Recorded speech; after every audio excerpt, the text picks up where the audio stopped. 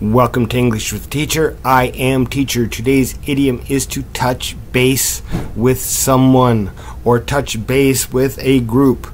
Touch base basically means to make a brief contact. Let them know, yeah, I'm okay. I've just been really busy. I'll get back to you later. Yeah, I'm okay. It's just things are really hectic right now or yeah i'm okay when can we get together you're just you're touching base with them you're letting them know that things are good and that you were thinking about them okay so yeah i just thought i'd touch base with you and see what's up okay thank you very much and i will see you in the next video